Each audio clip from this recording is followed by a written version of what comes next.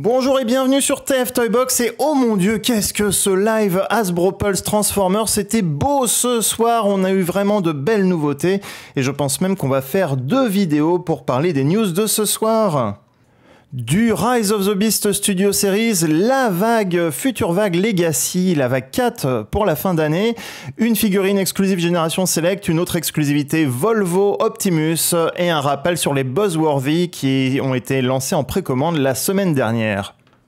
On commence tout de suite avec deux figurines Studio Series très attendues. On a d'abord la Deluxe Class Mirage. Mirage, on avait eu droit à un rendu 3D qui franchement était pas terrible. Et là, on a vraiment une super belle figurine. Le design a visiblement été retravaillé. Le mode véhicule est une Porsche parfaite. Quant au mode robot, il a sa tête de robot normal telle qu'on la voit dans le film et pas le Battle Mask comme on a pu le voir sur d'autres jouets de la gamme Beast Alliance. Une bien belle figurine qui pourra retrouver donc Studio Series Bumblebee. Et enfin, on a le Leader Class Optimus Primal, et là, ça valait le coup d'attendre. Troisième Leader Class de cette année après Snarl et Scourge. Un très beau gorille, un très beau gorille cybertronien, j'ai envie de dire, avec un mélange de métal et de fourrure. Le mode robot est parfait, il n'a pas son battle mask. Il a des armes, il a les transwarp keys qui sont présentes dans le film. Elles se séparent en deux comme dans le film, désolé pour le spoiler, mais là c'est dans le jouet. Côté armement, il a deux épées comme le jouet Bistoire de l'époque, mais accroché à une chaîne. Visiblement, dans les concept art, il devait y avoir cette chaîne lors d'un combat. La chaîne n'est plus là, mais elle est présente dans le jouet. Et vu qu'il restait un peu de place et un peu de plastique, on a droit aussi à la hache.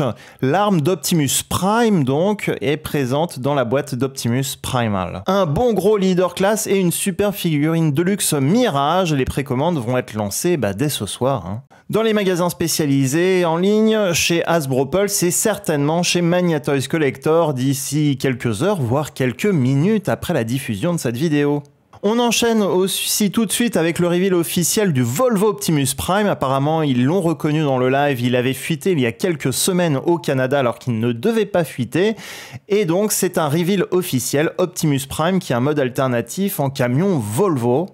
Et là, ce n'est pas une surprise également, puisqu'il est disponible à la vente en France, en tout cas depuis quelques jours, voire quelques semaines chez Toys Collector. Donc là aussi, je vous remets le lien en description de la vidéo si vous voulez déjà vous le procurer, parce que visiblement, nous, on l'a eu également un petit peu en avance. Enfin, on nous rappelle aussi à la fin de ce live les exclusivités Buzzworthy Bumblebee annoncées la semaine dernière, le pack de deux Ironhide et Prowl, Battle Damage, lors de leur combat euh, pendant le film de 1986. Donc c'est une exclusivité Studio Series 1986 Buzzworthy Bumblebee.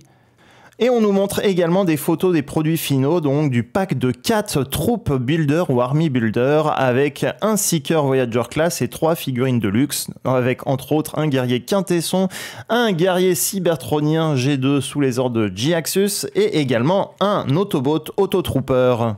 Là aussi, les précommandes ont été lancées déjà depuis mardi de la semaine dernière, donc vous devriez trouver votre précommande habituelle sur les magasins comme Hasbro Pulse ou Toys Collector, personnellement, moi j'ai déjà précommandé mon pack de troupes Builder. Autre nouveau reveal qui n'avait pas fuité pour le coup, ça fait plaisir. On a droit à Antagony qui est un repeint de Inferno. Alors Antagony était une exclusivité Botcon de 1998 si ma mémoire est bonne. Une figurine ultra rare à avoir, un personnage très obscur et qui a fait une ou deux apparitions dans des bandes dessinées de convention ou bandes dessinées IDW en personnage de fond. Et on a donc droit à une version génération select de cette figurine. Lui aussi sera précommandable à partir de jeudi prochain. Donc normalement, il n'est pas encore en ligne, mais il va sortir et il sera certainement en précommande également en Europe et pour la France. On n'oublie pas les amis canadiens qui certainement auront aussi droit à cette figurine. Enfin, on a droit au reveal de la dernière vague Legacy Evolution de cette année. En tout cas, autant vous dire que côté Core Class, on a le droit à Snarl. Snarl, le dernier Dinobot Core Class qui va compléter Volcanicus. Hasbro, l'équipe Hasbro a également confirmé que ceux qui ont raté Slug et Sludge en début d'année euh, eh bien, vont être heureux d'apprendre qu'ils vont être réédités dans cette dernière vague aux côtés de Snarl. Ainsi, vous pourrez compléter votre Volcanicus.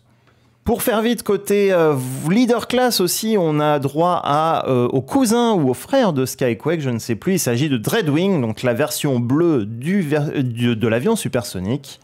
Sans surprise, c'est un repas, mais à l'époque, Dreadwing et Skyquake partageaient également dans Transformers Prime leur euh, corps, c'était le même moule, entre guillemets, de jouets en frein, en vrac, et finalement je vais arriver à faire toute cette description de la vague de luxe, on a droit à Shadow Striker, un personnage du dessin animé euh, Cyberverse, qui est basé sur Shadow Striker, une exclusivité BotCon aussi de 2002-2003, euh, si ma mémoire est bonne. Le prototype avait fuité, mais on a l'information, la confirmation officielle de sa sortie pour la fin d'année. À ses côtés, on a droit à Strongarm, Strongarm qui est un personnage de la série Robots in Disguise de 2015. Donc là, avec la gamme Legacy, vraiment Hasbro tape dans toutes les séries, tous les univers, toutes les années, c'est génial.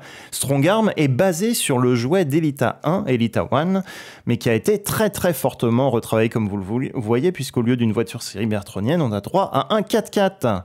Fan d'Insecticon, vous avez eu Shrapnel dans la vague 2 cette année ou vous souhaitez avoir Shrapnel, et eh bien sachez que Bombshell, le troisième Insecticon, sort dans la vague 4. Donc on va pouvoir réunir le trio d'Insecticon. Le premier Insecticon Kickback était sorti l'année dernière dans la gamme Legacy.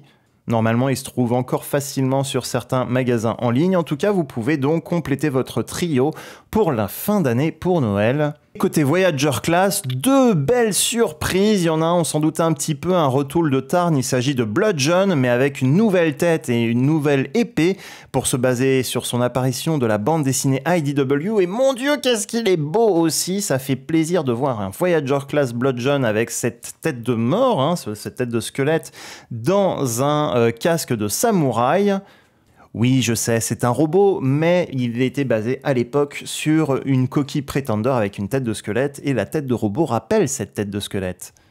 Et à ses côtés, en Voyager Class, on a droit à un nouveau Junkion, un bon camion, euh, un camion poubelle d'ailleurs, ou un gros camion armé Junkion. Et d'ailleurs, beaucoup déjà ont supposé dans le live qu'un retour de Transformers Animated euh, Car était fortement possible quand même. Il a la même capacité Evo-Fusion que ses camarades Junkion de cette année, c'est-à-dire que vous pourrez le démonter les bras, les jambes et les différentes parties du véhicule pour assembler et faire vos propres créations. Oh, et d'ailleurs en Deluxe, j'ai oublié une Deluxe, il s'agit de Detritus, un Junkion, mais qui ne se démembrera pas. Lui, Detritus était basé sur le jouet Hand, et c'était un jouet sorti par Takara, je crois, un repeint du jouet Génération 1 Hand. Si Hasbro se décide à sortir Detritus cette année qui se transforme en Jeep euh, terrestre, eh bien on peut fortement supposer que Génération 1 Hand ne va pas être très loin, d'autant que G1 Hand était prévu euh, normalement pour la gamme Earthrise et il n'était pas sorti, c'était la période Covid où il y avait eu quelques annulations. Donc ces annonces font bien plaisir. Et enfin pour les fans d'Optimus et Bumblebee, on a droit à une exclusivité Hasbro Pulse aussi, un petit pack de deux, Core Class, Bumblebee et Optimus Prime et Optimus Prime Core Class a droit à une remorque. Vous pouvez donc faire un petit playset avec sa remorque qui se transforme en station de combat. Il y a un mini voire micro roller et Optimus a droit aussi à sa hache. Bumblebee lui peut rentrer dans la remorque. Eh bien voilà, j'avais dit que je ferais pas tout et j'ai quand même tout fait. J'espère que cette vidéo vous a plu. On reparlera des autres news Legacy dans une future euh, vidéo plus tard. Si cette vidéo vous a plu, n'oubliez pas le petit pouce positif, le petit like. Et si vous êtes nouveau, n'oubliez pas de suivre la chaîne pour d'autres vidéos, news comme celle-ci et d'autres revues. Les précommandes vont être lancées cette semaine sur les magasins en ligne comme Hasbro Pulse et très certainement aussi Magnatoys Collector. Personnellement, je sens que Mirage et Optimus Primal vont se retrouver dans mon panier très vite. N'hésitez pas à me dire ce que vous pensez de ces nouveautés en commentaire. N'oubliez pas de suivre les réseaux sociaux Facebook, Instagram, TikTok et Twitter TF Toybox. Et sur ce, à très bientôt pour une prochaine vidéo.